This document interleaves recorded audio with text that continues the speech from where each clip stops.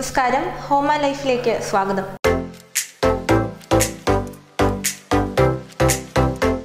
ഏറെ പ്രതീക്ഷകളോടെയും സ്വപ്നങ്ങളോടെയും കാത്തിരുന്ന കുടുംബജീവിതം ആരംഭിച്ചു തുടങ്ങിയപ്പോൾ തന്നെ ജീവിത പങ്കാളിയെ പിരിയേണ്ടി വന്നു.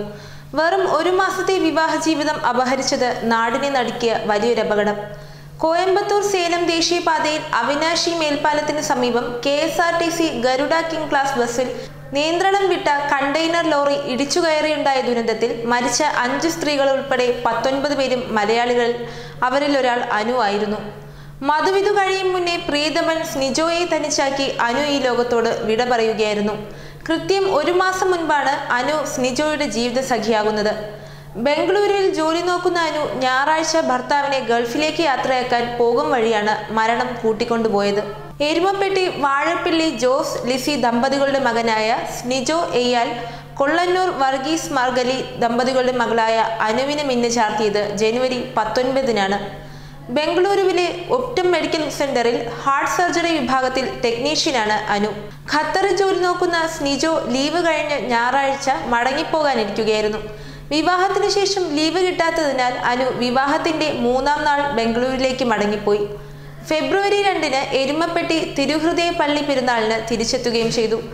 ആഘോഷത്തിലും കുടുംബ സൽക്കാരങ്ങളിലും പങ്കെടുത്ത നവദമ്പതികൾ നാലിന് മധുവിധു ആഘോഷിക്കുന്നതിനായി ദില്ലിയിലേക്ക് പോയി. നാല് ദിവസത്തിനു ശേഷം ഇരുവരും ബംഗളൂരുവിലേക്ക് മടങ്ങുകയും ചെയ്തു.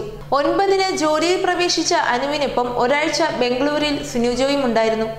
പതിനേഴ് നാട്ടിലേക്ക് മടങ്ങിയ സ്നിജോയ്ക്കൊപ്പം അനുവിന് തിരിക്കാനായില്ല. കമ്പനി അവധി അനുവദിച്ചത് വ്യാഴാഴ്ചയായിരുന്നു.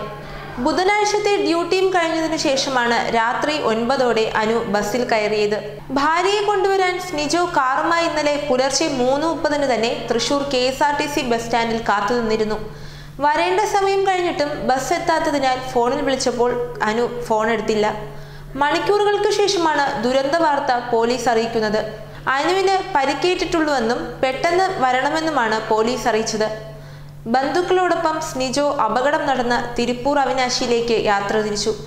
എന്നാൽ തിരുപ്പൂരിലെ ആശുപത്രിയിലെത്തിയ സ്നിജോ കണ്ടത് പ്രിയതമ്മയുടെ ചേതനയേറ്റ ശരീരമായിരുന്നു. പ്രിയതമ്മയുടെ മൃതശരീരവുമായി സ്നിജോ വീട്ടിലെത്തിയ രംഗം കണ്ട് ബന്ധുക്കളും നാട്ടുകാരും പൊട്ടിക്കരഞ്ഞു.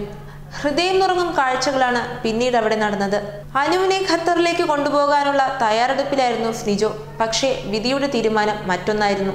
കോയമ്പത്തൂർ സേലം ദേശീയപാതയിൽ അവിനാശി മേൽപ്പാലത്തിന് സമീപം K S R T C Garuda King Class ബസ്സിൽ നിയന്ത്രണം വിട്ട കണ്ടെയ്നർ ലോറി ഇടിച്ചു കയറിയുണ്ടായ ദുരന്തത്തിൽ അഞ്ച് സ്ത്രീകൾ ഉൾപ്പെടെ പത്തൊൻപത് പേരും മലയാളികളാണ് മരണമടഞ്ഞത്. ബസ് ഡ്രൈവറും കണ്ടക്ടറും മരിച്ചവരിൽ ഉൾപ്പെടുന്നു. കേരളത്തിലെ പൊതുഗതാഗത ബസ് സർവീസിന്റെ ജന്മദിനമായ കഴിഞ്ഞ ദിവസം പുലർച്ചെ മൂന്ന് ഇരുപത്തഞ്ചിനാണ് അപകടം നടന്നത്.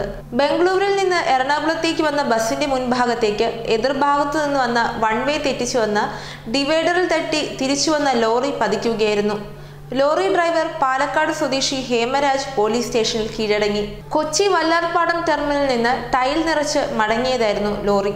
കൂടുതൽ വാർത്തകൾക്കായി ഹോം ആൻഡ് ലൈഫ് സബ്സ്ക്രൈബ് ചെയ്യും.